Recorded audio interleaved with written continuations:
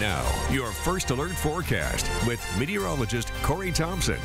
Good morning. It's 643. Seeing some beautiful sunrises, but Corey, we know that's going to change by next week. Yeah, we have a storm system coming in uh, as we head through the next couple of days even. That's going Right. to give us some unsettled weather. And so today's weather-wise question kind of associated with that. It's kind of a pretty straightforward one. Which direction does the wind tend to flow around an area of low pressure? That clockwise, counterclockwise, really any which way, or there just is no wind associated with an area of low pressure? Think about it for a minute. This morning, we're seeing some lovely sunrises, as Jackie said. Uh, lots of clear sky today compared to yesterday's cloudy start for many of us.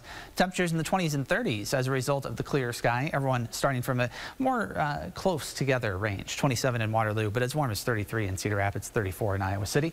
Wind chills feel more like the mid 20s, give or take a few degrees, thanks to that light breeze. That big difference where the clouds were yesterday, it was much warmer for a start, but everyone ended up sort of in the same place by the afternoon once the sun came out. That's going to be a similar story today. Not expecting big disruptive weather over the next 12 to 24 hours. It's till later tomorrow when things begin to change more significantly. So we'll enjoy the sunshine through the morning hours, even into the afternoon too. But more clouds on a scattered basis start to arrive from the west by then. Winds during the day stay fairly light. So with the very pleasant temperatures, it should be an overall really nice day to get out and about.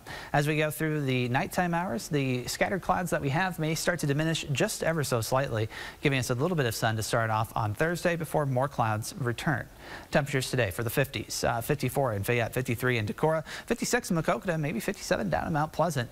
Uh, our normal high is in the low 40s, so we are still significantly above that, and we'll spend many more days above that in the uh, very near future. That area of low pressure to our southwest will be tracking to the northeast. It will start to uh, give enough moisture out ahead of it that showers will start to develop in southern Iowa first by the afternoon on Thursday, shifting to the north by evening. So I think later evening plans on Thursday could feature some rain during the nighttime hours, in particular into the morning of Friday. That's where the rain will be at its most widespread. And so we'll see some fairly wet conditions for the start of the last day of the work and school week. Now into the weekend, by the time you head home on Friday, things may be starting to dry out. But the system is going to take its time to get out of here. And as a result, we could see some decent rainfall totals with it, at least half an inch. A pretty good bet for most of the area, especially the farther south you go.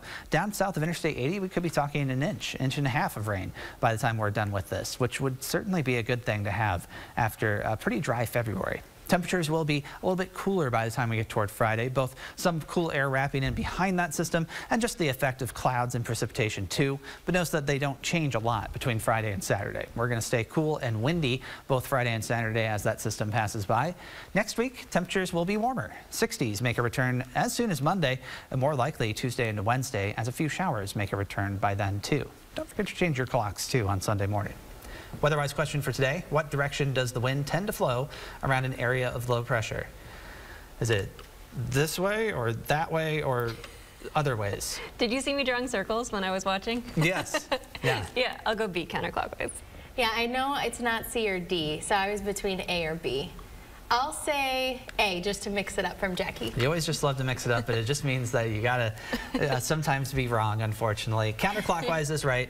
Uh, it's actually just wind flowing from higher pressure to low pressure, but because of the way that the Earth works and that it rotates, that's what causes it to turn in in a counterclockwise fashion. Coriolis effect. Google that if you want to, uh, but that's why it's not just a straight line from a high to a low pressure. Your favorite effect because it has your name in half of it. It does. Does sound like I your know name, exactly. Coriolis. It's the best You got that one right on your test, right? Of course. All right, thanks, Corey. Yeah.